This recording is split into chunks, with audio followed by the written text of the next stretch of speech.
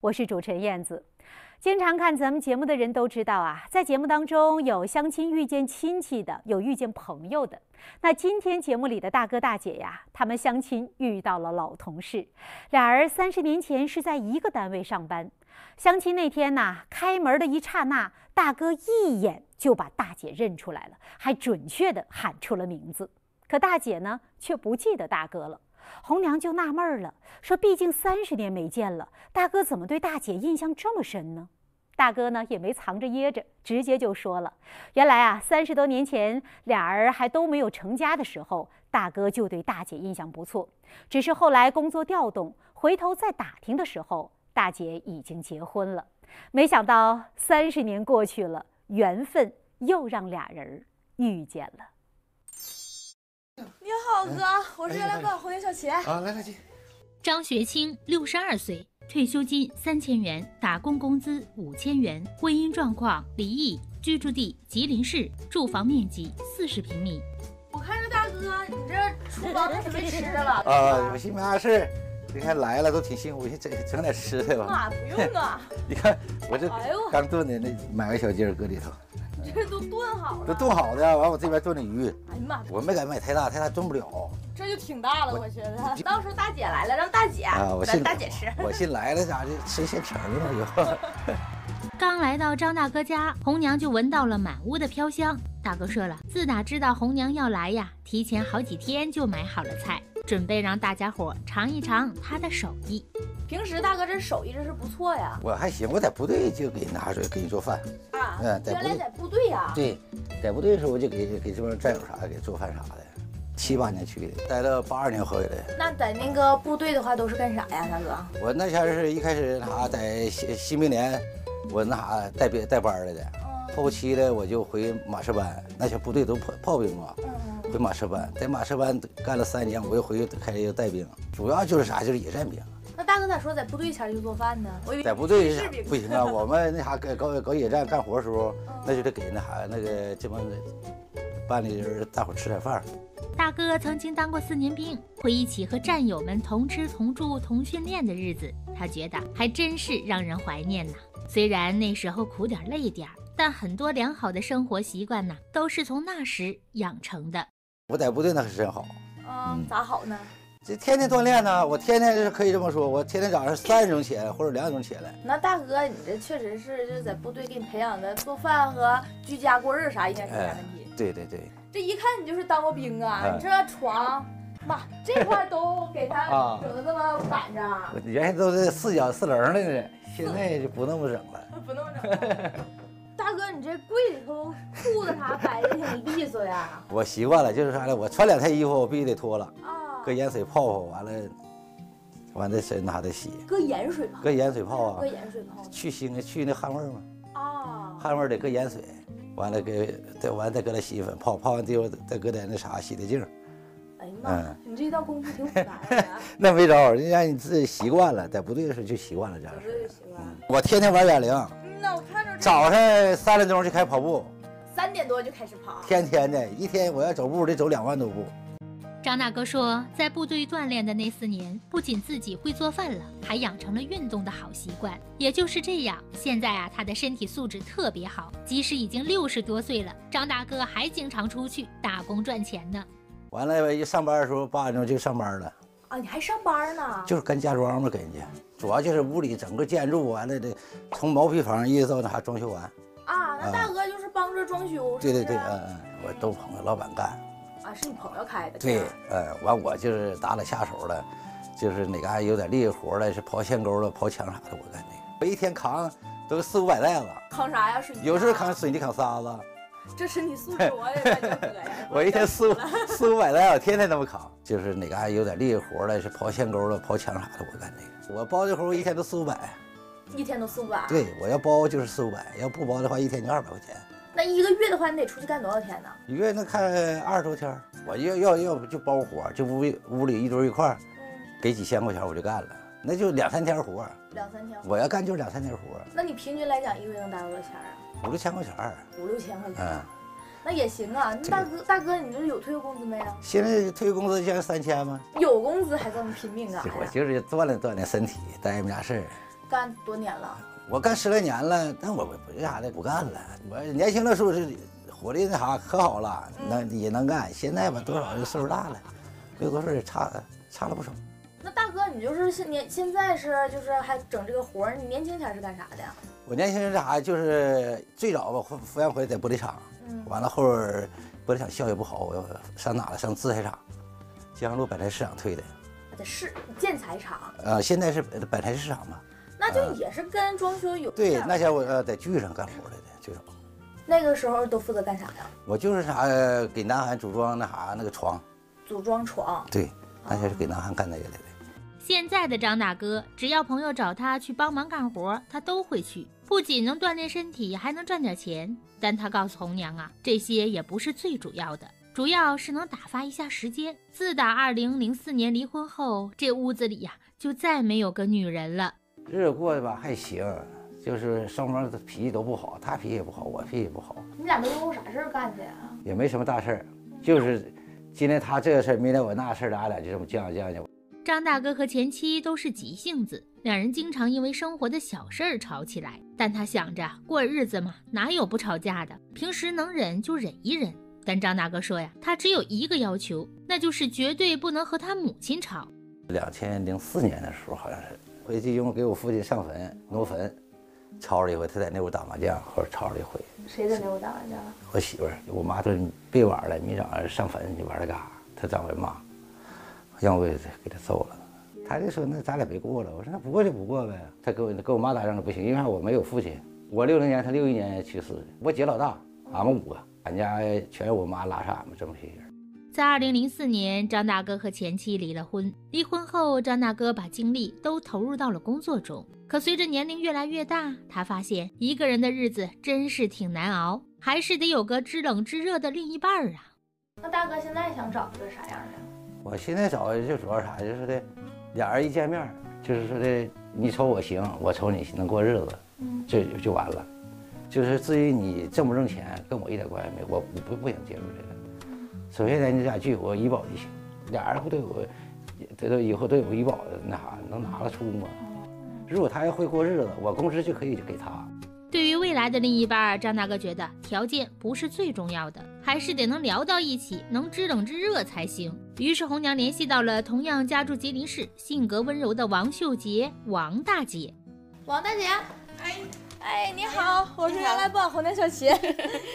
王秀杰，五十七岁，退休金两千三百元，婚姻状况离异，居住地吉林市，住房情况暂住女儿家。大姐，你那个是啥呀？这是啥呀？好几桶这个。那黑茶。黑茶呀？嗯。你平时我代理就是厂家那个安化黑茶来的。啊，你代理的那个黑茶。嗯，对对对。大姐是那个自己现在还整那个买卖吗？还是啥呀？就是我们就是发那个网的朋友圈啥的，他就联系我了。自己喝也对身体保养挺好的，完就挺好，就就跟代理了一起做，完也跟着喝调理身体。那有啥作用啊？它？它能就是最主要的是排毒，对对人身体排毒特好。王大姐平时喜欢喝喝茶，她说了，喝茶能起到排毒养颜的作用，所以在朋友圈卖点也算是有点营生。但自打外孙女开始上学后，每天就是围着她转，生活的重心也转向了孩子了。不整了，就搁家看孩子了。他妈出去上外地打工去了，因为吉林市钱好像饺子不好赚，寻思出去看看去哈。反正我是为了孩子，让他们多挣点儿，以后到时候有个积蓄啥的。大姐平时在哪屋住啊？搁楼上，这就是为了宽敞啊。嗯呐，完了在下面热，我愿搁楼上睡觉。那这是后拓展开的呀，还是？不是，他买就带的，就是像阁楼似那种的。嗯，这我家厨房。嗯，我和我家宝贝儿搁这屋睡，他他有他的屋，他不搁那屋睡，完那屋就当储藏间了。完那个。完，他就和我在一个屋睡，他自己不在一个屋睡，完就搁这屋睡。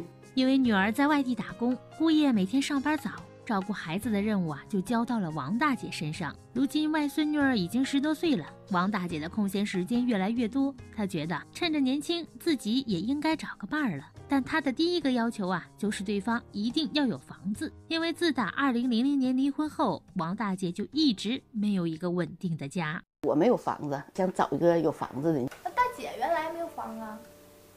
原来就是跟孩子爸结婚的时候，那是那个跟他爷他奶奶在在一起住。完了之后就是离婚了之后，人都都是他爹他妈的呀。啊。完我们就出来了。所以说大姐才没房 子。对对对对对。自打离婚后，王大姐就没有买房。可她说了，之前自己也是有着不错的工作，是前夫说让她安心照顾家庭，大姐才辞去工作的。嗯，我是在玻璃厂，就是一个饭店，玻璃厂下属一个饭店，在那时候管仓库，就算服务员吧。啊，管仓库。嗯那挺大呀，那个饭店。嗯，挺大的。那时候一个月该加奖金，反正也不固定，能开四五百块钱，有时候能开千八的，好像也能。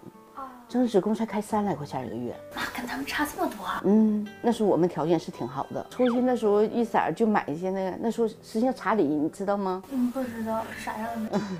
那时候茶礼那鞋都三百、四百的，一般人都买买不起。啊，是鞋呀？对对对，就是那种高档的东西，就三四百块钱。那时候就挣三三四三四十块钱嘛。完挣的少，我们就那时候好像开的多点就是穿这些东西，你都可羡慕了。确实是。嗯，八八年有的我姑娘嘛，完她还不让我上班她说的我上班她那时候工资就挺高的。她说的我也能养活得起你，就在家就带孩子吧。那时候孩子不大。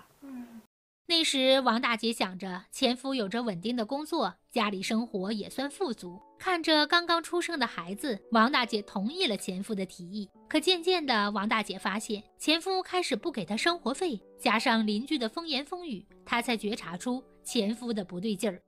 时间长，乍开始是给钱，后者不给钱了。邻居啥的都认识我们嘛，完就邻居问我妈，他说你家姑娘跟那个离婚了。跟那就是跟人家他离婚了，俺家我妈说没有啊，她说那我看人家怎么还他领着人家搁这块租个房子住呢，我这才知道，我领孩子就走了。与前夫离婚后，王大姐在家里人的帮助下，孩子渐渐长大了，成家了。如今外孙女儿已经十多岁了，王大姐觉得她的任务也要完成了，自己也应该考虑一下未来的生活了。那大姐现在想找一个啥样的呀？我想找一个能三三四三千块钱以上也行啊，就是最起码的能就是举家过日子哈。到岁数大了，互相就是旅旅游了，溜达溜达了，也就这样事儿的。找一个就是家里就是他要家里头是没啥负担的，是不是？就一个人，有退休金有房子是王大姐现在找另一半的要求。那不知道她与张大哥的见面能否擦出爱情的火花呢？哎，哎哎，你好，往里去，走走走。认识，啊，认识，认识，嗯，好像我们一单位的。我好像一个单位，我瞅好像是。你是玻璃厂的吗？对呀，你自清的吧？对，我们集体。这刚一进屋，张大哥直呼认识王大姐，可王大姐却不认识张大哥。那这一次的相亲能否成功呢？广告之后，相亲继续。红娘和王大姐刚来到张大哥家，一进屋，张大哥就直呼认识王大姐。一了解才知道啊，两人原来在一个单位，并且啊，张大哥说了，年轻时啊就对王大姐那是很有好感呐。人好人，在单位那时候我挺了解他的，人不错，还挺了解。真的，咱说心里话，你不要说你不属于我，我属我挺属于咱们这帮人的。你认识他吗？我不认识他，他认识我呢。那男的肯定是活跃点，不像女的。我一进门一看，一个单位的。那你原来对他印象咋样呢？印象不错，印象挺好。我跟他也说了，他在单位的人吧还是挺好的，他性格挺好。在单位那时候，我就我就我看中你了。你可能你那前还没结婚呢。印象咋样呢？印象不错。咱再再一看，大姐就结婚了。对，这这这都是缘分吧？对，你说是不是？是缘分。在单位的时候，我就瞅这人是不错。哎哎，咱说心里话，因为啥呢？人当前人有家，咱不能乱聊是人。我眼睛挺多，他一进来我一瞅就是他，我挺相中。原来年轻时张大哥就见过王大姐，并且对她印象不错。可没等张大哥和王大姐说上话，再次见面，王大姐已经成了家。可没成想，时隔三十多年，两人却在相亲时见了面。你说这不是缘分吗？紧接着，张大哥赶紧介绍起自己，让王大姐多了解了解他。我这啥就是复员回来，我就分到玻璃厂了，那是归父母单位嘛。他黄了之后，我就调走了，完了我就调到百菜市场，在百菜市场退休的。完我一月工资就是里外里就三千块钱，咱们俩人那说的生活费肯定是够用，是不是？你开不开钱跟我没关系，我我不要，我不经过钱，就是可咱们工资花，你需要多少钱你就花多少钱，我是本这个原则，就是说你管，你要想跟我成成个家，就是这个钱，工资钱归你给你，你自己管家。再说了，我想我还能在外干活，我也干家装。大哥这家装干也要挣不少。哎呀，我干十来年呢，还行，在一起就毕竟要是他信任我的话。他就愿意跟我在一起过日子呗，哈，交给我了。我这人也不是说像人家不务正业的人，也想正经八百找个后半生，就是不？能感觉到张大哥是真相中王大姐了。上来第一点就是以后你当家，真是给足了王大姐安全感呐，让王大姐觉得大哥也是真心想和自己过日子，也表达了钱不在多少，最重要的是俩人心能往一起想。能干了我就多干点，多干点咱不是生活多富裕点吗？是不是？为了给大姐以后一个保障。对，嗯，是，我也想找一个就成天跟我能过后半生的啊。到老了就有这份工资，最起码的不用出去去挣去了，因为咱也不年轻了，老了。都五，你也五十多了啊？五十七了。对呀，你给我六十二，六零年的。你你你属属耗的吗？啊，我属龙。啊，嗯。是他这岁数还行。是不是他比我大四岁，很正常，挺好，是不是？要我这年龄，要是找岁数找岁数再小点的，人也愿意再再年轻点的。你说是不是？咱也知道这种感觉。他这种型儿跟我还可以的，他性格挺好。自己包饺子啊？我就自己包，反正没有你在饭店做的好，我我就愿意做。你愿意做还行，挺好的。我在部队就是给他们做 我做饭就家常饭还行，一般上桌是饭做不了。只要说他们说能点上吃的，我全能做。嗯，那挺 好，还挺热情的，挺好。嗯，让我上桌的菜好像拿不出来几个。啊，我不需要那太那啥，就是说的你做不了，我可以做。我不晓得做这个做那的，但是我忙的时候，你帮我收拾收拾。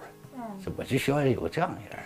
对于张大哥的手艺，王大姐真是赞不绝口啊！这时，张大哥说了：“我不仅做饭可以，就连收拾家务那也是很在行的。我这一天得擦好几遍，真的，我就你一擦，天天擦好几遍，别嫌我埋汰。那我我这 这这跟那没关系，因为我这就这样式的。早上起来必须先擦，把地擦完了，我得先出去溜达一圈，三点钟出去溜达，溜达七点钟回来，回来要吃饭之前我把地就擦上来了，擦完了再做饭。”做完饭就吃，就这回一天就这就是这样。就是这家务活这方面他都会做，挺好。咱就说张大哥真是个居家过日子的好男人呐。通过这段时间的了解，王大姐和张大哥共同话题那是越来越多啊。这不聊着聊着就发现两个人性格还特别的像。我性子急，性子急，完了吧还直，有啥我必须得说。我那咱俩都差不多，我性格也急呀。我要不说我还不行，憋得难受。我性格也急，反正在这一段时间磨合的，反正有孩子了，有五的磨的时间长了，也磨差不多了。反正大姐虽然性格急，但不是说那种躁的人。我不是，因为啥呢？我要是想干啥，我今天、明天想干啥，我今天必须啥准备好，明天必须得干。我要不干，我心里就难受。我就这样。差不多。嗯。我要是赶紧话，咱打比方吧，说我今天要洗澡，没洗上，浑身不自在，就得去洗去。我 我就是干活，我不管干啥。那大哥大姐过日子，这家里老立正了。从年龄到性格，两人可以说是很对撇子。他们也是越唠越融洽。可聊得正好的时候，王大姐告诉红娘，她有一个顾虑，不知道张大哥能不能接受。要是我家现在就是，我姑爷是夜班啊啊啊！白天他在家睡觉，晚上不搁家，就我和孩子。我姑娘没在本市啊，嗯。暂时要是过来的话呢，我过来不了。我问题现在在这种情况下，我好像扔不下。嗯，就是孩子上学了，我可以出来在一起相处相处了。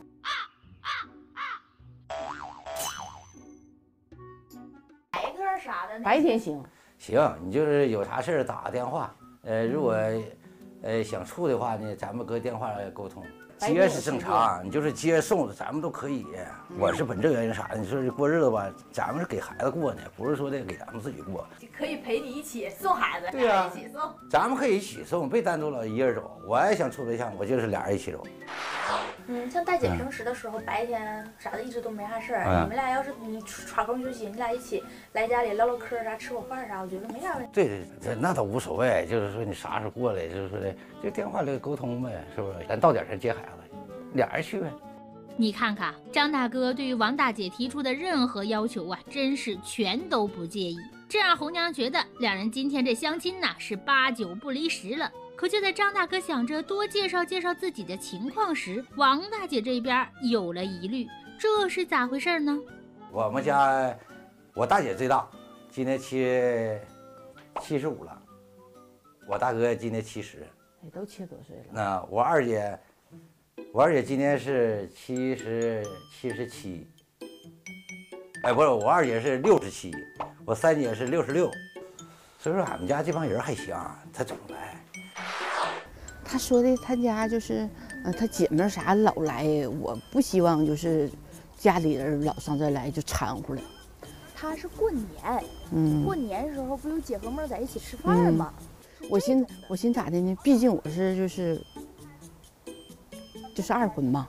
你说要一掺和这么好，这么不好，那么好，人一多是不是就麻烦事儿多？他是老蔫儿，那他的姐妹都已经七十多了都。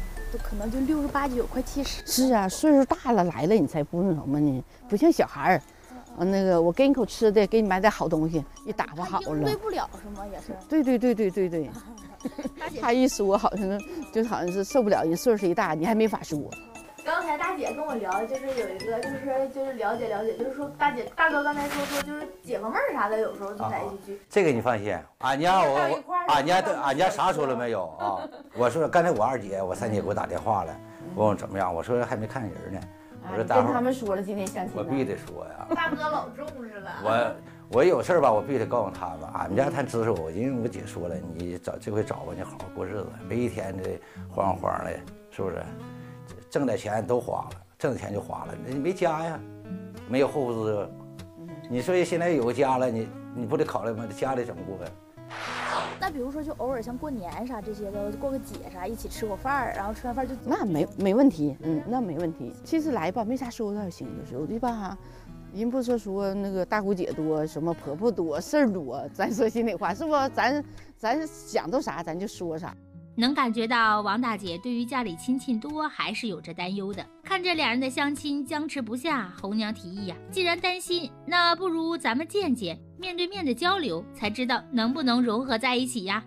这样吧，我寻思就是，那个大哥姐姐什么的那些还挺就是说关心你的。我寻思明儿个这样的姐姐啥的叫上大姐，咱们一起吃个饭啥的。行行，那是不是行不行？行，了解了解，毕毕竟吧，就是既然觉得想相处相处，是啊，因为他不还要接那个小孙女嘛，完了我们就准备要撤了。因为王大姐还要接外孙女放学，两人决定明天再了解了解。到了第二天，张大哥提早订了饭店，叫来了一家人，准备好好的介绍介绍。那他们的相亲会是咋样的呢？广告之后，相亲继续。王大姐和张大哥，无论是性格还是年龄，都对彼此挺满意。就是了解到张大哥家姐和妹多，怕自己融入不了而担忧。第二天，张大哥叫来了家里的兄弟姐妹，准备好好的向王大姐介绍一下。张大哥，哎，哎，哎，来啊，哎，哎，看那那，那是我二姐，嗯，那是我大姐。中间那是我大哥，这我大姐夫，我三姐夫上班嘛，没来。嗯，你女儿没来？谁呀？你女儿啊？忙啊，没时间。他同意，他同意你再婚呢？他都不用管，都不用问他，问他没用。他说有什么说法我的？他有啥说法？他都不管，他的还行。那现在的话，就是像这种家庭聚会啥这种的还多不了也？也多，就逢年过节了，过生日啥的在一起。平时反正也都挺，都人家都各有各的家，对，都挺忙。我岁数大了，都自己家照顾自己家，不像小时候到在一块儿。不行啊，嗯小时候在一起有老妈啥的都在一起。对，现在就是不像以前年轻前可能都在一起。对，现在都各顾各的了嘛，人家家里还有有老有小的，这不有时都得管上。毕竟都老了嘛，各有各的就生活圈子，是不是？岁数大了，他不是说是光是一家就是两口过日子，他毕竟他岁数大了，底下也有这子孙后代啥的搁一起，是不是？他们能照顾他们的圈子，就是也不一定能说是照顾以外的事参与事儿的多了。啊啊，对吧？嗯，你们俩既然走到一起了，我就有一个要求，你们俩应该是好好过。过后半辈子的余生，互相的尊重，很难遇这么好的人。我看他呢也比较那啥一些，本分，说话挺嘎不溜脆的哈。说是当姐的呢，和我们这个哥和他的姐，我们都是这个希望。不管咋的，今后的生活你们俩呢，一定要安排好。真难遇这么多，那个在城市这这么那啥的哈。他都能遇上，嗯，有缘分。对呀，既然有缘分，你就要把这个缘分走下去。谢谢大姐，你给我这么坦诚，我就知道了咋回事儿。是感觉他，嗯，对我还行，挺满意的，嗯，没啥说法，还行。大哥，我感觉也对大姐挺满意的。大大姐觉得能不能跟大哥相处相处？行行，相处处处看看呗。行，谢谢了啊。看着大哥大姐的缘分得到了大哥家人的认可，红娘这心呐也就放下了。大姐说，无论头婚还是再婚，婚姻从来都不是两个人的事儿，而是两个家庭的事儿。只有得到家人的祝福，这日子过得才踏实。那在这儿呢，我们也祝福大哥大姐能在两大家人的期望下越来越幸福，让这份迟来了三十年的缘分能够长长久久、甜甜蜜蜜。那好，今天的节目就到这儿了。原来不晚，咱们下期再见。